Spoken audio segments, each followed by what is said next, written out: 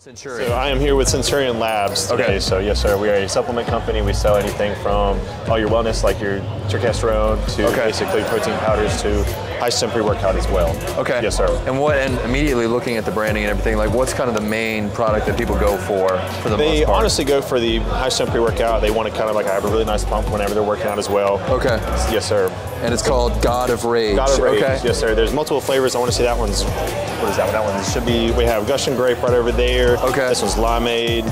Awesome. multiple flavors as well. Peach mango. And tell me this, so it's got the theme of like Centurion, Yep, kind of- God, yep, God of War Rome, kind of stuff, yep, Rome. Okay, all I got you. stuff, yes, sir. Immediately looking at this, I'm like God of War, Yeah. Kratos, yeah. Yeah, all that good Man, stuff. that's yes, sir. awesome, dude. Yep, we got fat burners as Fat well. burners, okay. BCAAs. How does then- how does it go whenever you guys get into the fat burning realm? Like, what's what do you look for? So kinda in a typically, you want to try to be in a caloric deficit as well with it. Um, Okay.